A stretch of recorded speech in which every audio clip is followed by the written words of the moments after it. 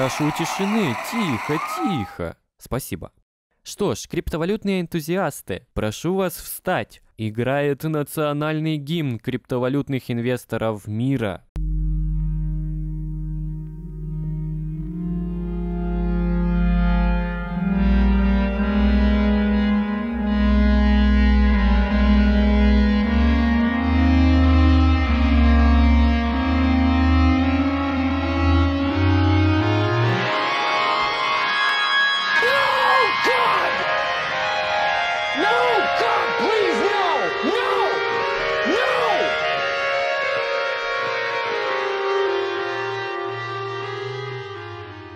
Почему 2018 это лучший год биткоина?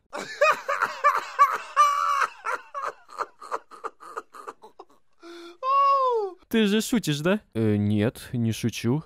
Я понимаю, что это видео может собрать тонну дизлайков, ведь многие в этом году находятся во внушительном минусе. Рынок всех немного огорчил. Но одновременно с этим я расскажу вам о трех причинах, почему фундаментально биткоин имел чуть ли не самый лучший год в своей истории. На самом деле у биткоина каждый год был лучше предыдущего. Много времени я пытался вселять в людей оптимизм, рассказывал о хороших новостях и лишь краем глаза зацепился за фундаментальную сторону проблемы. Поэтому сегодня Сегодня я не имею ничего, кроме желания выразить свою точку зрения по этому вопросу, ведь в фундаментальном плане тоже было немало позитивных движений. Итак, три вещи, делающие этот год лучшим для биткоина. Первое. Хешрейт сети биткоин. Проще говоря, это поддержка стабильной работы биткоина майнерами, и эта поддержка растет. Гениальный технический анализ в виде одной линии это доказывает. Количество людей, что майнят в сети биткоина, быстро растет, даже несмотря на то, что доходы от майнинга падают. В этом я вижу растущую ценность биткоина, а не падающую стоимость онного. Для меня это достаточно позитивный момент. Просто представьте, что произойдет с хешрейтом, когда увеличится доходность. Именно поэтому люди говорящие о смерти майнинга, в моих глазах выглядят не предвестниками серьезной актуальной угрозы, а ребятами, что стараются защитить мозги от мирового заговора с помощью шапочки из фольги. Вторая вещь. Разработка решений масштабируемости. На этом сайте можно посмотреть все транзакции в сети биткоина и отдельно транзакции, проводимые с помощью всем известного Segwit. Можно заметить, что количество транзакций, проводимых в Segwit, сейчас занимает 40% от всего количества транзакций в сети биткоина. Возвращаясь к этим графикам, имеем возможность изучить и график комиссионных за транзакции. Мы видим в конце 2017 начале 2018 что комиссия просто зашкаливала. Сейчас недостаточно понятно, произошло произошло бы это, если бы хотя бы 40% этих транзакций на тот момент проводились через Segwit? Мне кажется, что нет. По крайней мере, я уверен, что в будущем комиссиям за транзакции будет очень сложно вырасти до таких же значений, учитывая развитие Segwit.